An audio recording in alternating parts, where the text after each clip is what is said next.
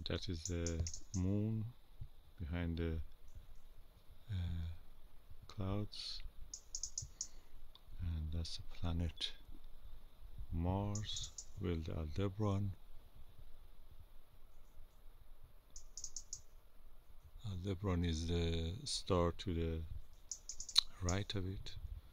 Mars is at the center now at the center this is the constellation Orion with all its beauty and glory I was able to photograph uh, part of the Orion Nebula, the sword and the belt and the southern part of it. Then the Orion Nebula itself uh, was nice. Uh, it's a handheld mobile phone image. I hold it against the Maxvision 82 degrees 24 millimeter eyepiece and the Flextube telescope. I enhanced it a little bit.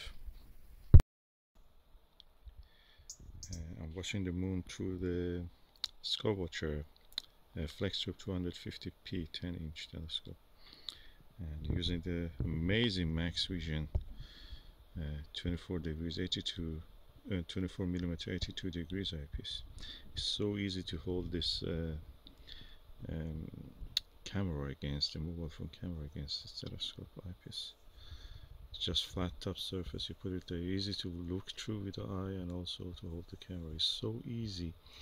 Moon slowly moves. It doesn't it's not fast at all although it is 24 millimeter. It gives uh, plenty of time to you know to hold adjust everything to take a good view.